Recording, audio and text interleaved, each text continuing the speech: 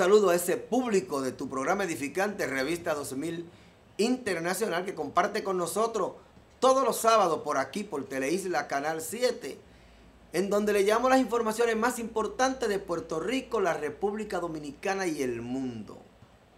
Hoy quiero compartir con ustedes una inquietud.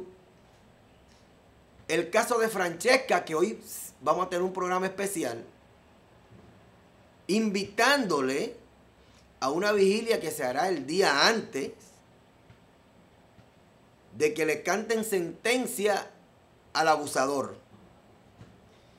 Pero nos preocupa la situación en donde no se sabe qué está pasando con los fiscales en este país, que son unos incompetentes. Y no preparan los casos bien. Y los delincuentes o salen a suelto o resultan con unas sentencias ridículas en donde al parecer un animal vale más que un ser humano.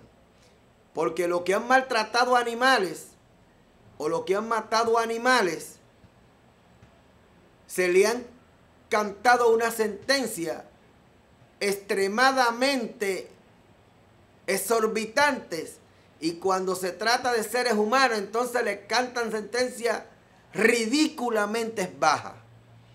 Y de eso es que se trata, señores. Y hay que estar bien pendiente porque cuando tienen dinero le permiten a los familiares de las víctimas entrar al perímetro del crimen cuando eso no se debe permitir porque pueden dañar la evidencia. Eso pasó con el caso reciente del hijo del juez Casilla, que mataron a la señora esposa del hijo del juez, y en el caso del niño Lorenzo. Ambos casos tienen una similitud. No se sabe quién mató a ambas personas. Y de eso es que se trata. Ahora les dejo con Maritza. Saludo público de Revista 2000 Internacional. Bienvenidos sean ustedes a esta nueva entrega de este tu programa edificante. Como le dijo Pedro, vamos a estar llevándole un programa especial a beneficio de Francesca Duarte, quien fuera víctima de un atropello que le costó la pérdida de sus dos piernas. Hemos estado cubriendo algunas de las actividades que se han hecho y vamos a ver en este programa eh, una entrevista que le hiciéramos a la licenciada Viviana, Viviana Díaz Aviñón. También estuvimos en un bazar que hiciera el Centro de la Mujer Dominicana y allí hablamos con la señora Romelinda Grullón. Por otro lado, vamos a ver las palpitaciones de las gentes, las palpitaciones, el sentir del pueblo sobre este caso. También quiero informarle que la Asociación de Barahonero están de aniversario y van a reconfirmar la nueva directiva que la va a regir por dos años. En esta ocasión lo tenemos aquí para que le den información de esa actividad que ellos van a llevar a cabo. Señores, el sensei Damaso Guzmán sigue quebrantado de salud. Saben ustedes que él está en espera de un trasplante de riñón que gracias a Dios ya tiene el donante. Si ustedes quieren cooperar con esta causa, solo tienen que hacer su, donativo a la cuenta que está apareciendo a continuación de First Bank. Así que ya ustedes saben, hagan su donativo con lo que ustedes puedan. Ahora quiero que vean lo que dice la licenciada Viviana Díaz Sabiñón sobre el caso de Francesca Duarte.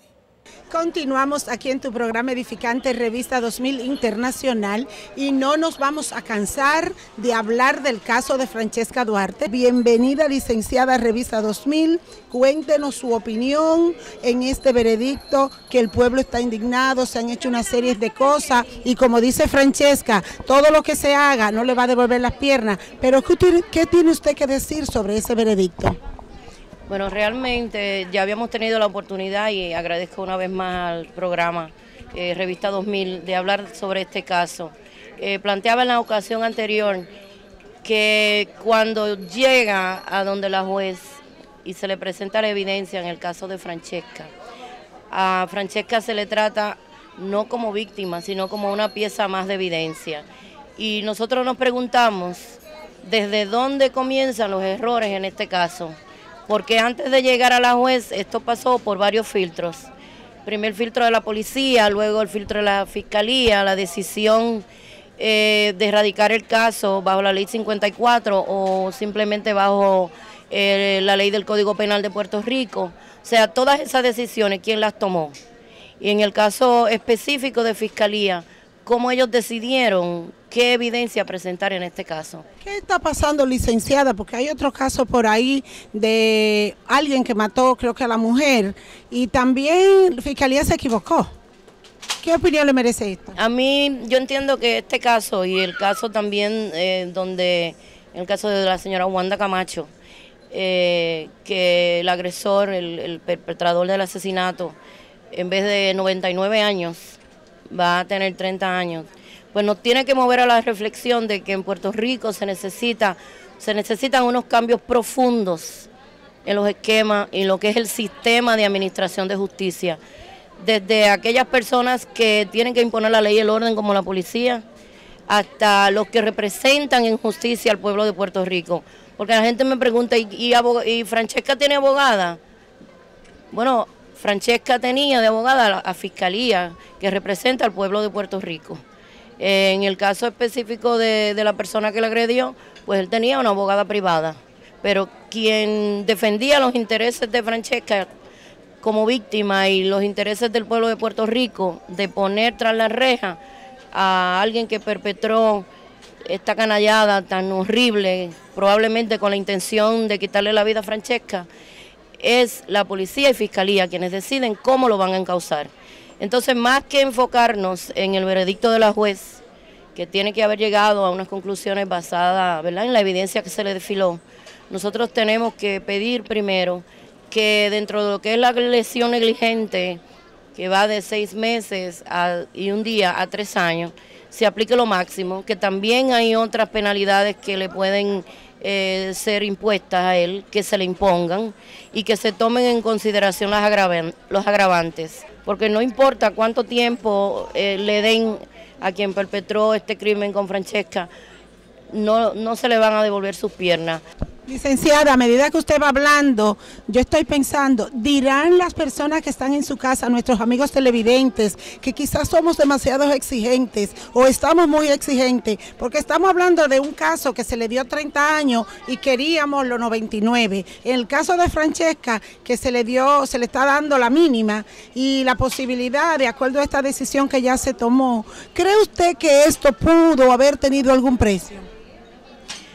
Ese planteamiento ya me lo han hecho varias veces y realmente em, una de las cosas que nosotros tenemos que exigir es una investigación en esos primeros niveles de filtro de cómo se llevó a justicia el caso de Francesca. Hay que mirar qué ocurrió desde el momento en que la policía llega a la escena de los, de los hechos hasta el momento en que se elige qué pieza de evidencia se va a presentar o cómo. ¿Qué precio tenía Francesca en ese caso? Francesca no tiene precio, pero la libertad de la otra persona podría tener alguno.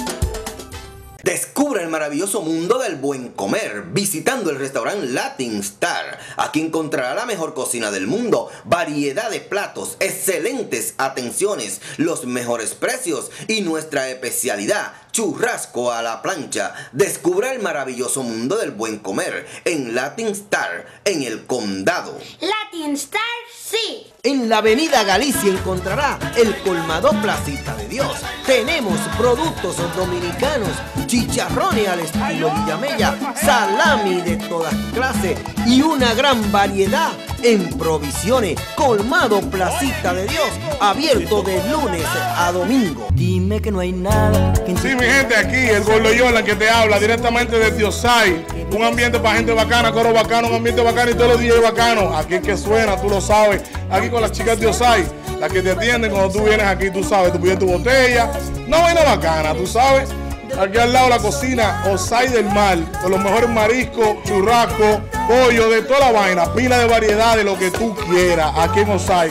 Recuerda, con máxima seguridad, máxima seguridad, lo mejor de del área, aquí en Osai. Te esperamos. Y los martes de soltero, aquí también te esperamos. Recuerda, viernes, sábado, domingo y martes de soltero, aquí te esperamos. Osai. Te esperamos. Visítanos y conoce Moncho Metal, una empresa seria que contribuye con el ambiente. En Moncho Metal compramos metales no ferrosos, tales como acero inoxidable, aluminio, bronce, cobre, plomo, boars, compresores de neveras y motores eléctricos, entre otros. Mucho Metal, somos una empresa recicladora de metales. Pagamos los mejores precios del mercado y cumplimos con todas las leyes y reglamentos. Mucho Metal, tu única opción para la venta de metales. Quiero hacerte una invitación.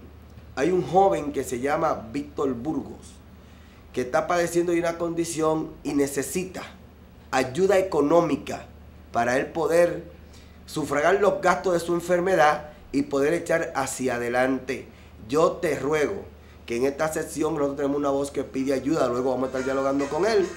Te invito a que aporte, aunque sea un chavito, a la cuenta que tú ves en la pantalla de tu televisor para que ayude a alargar la vida de este joven que necesita de tu ayuda.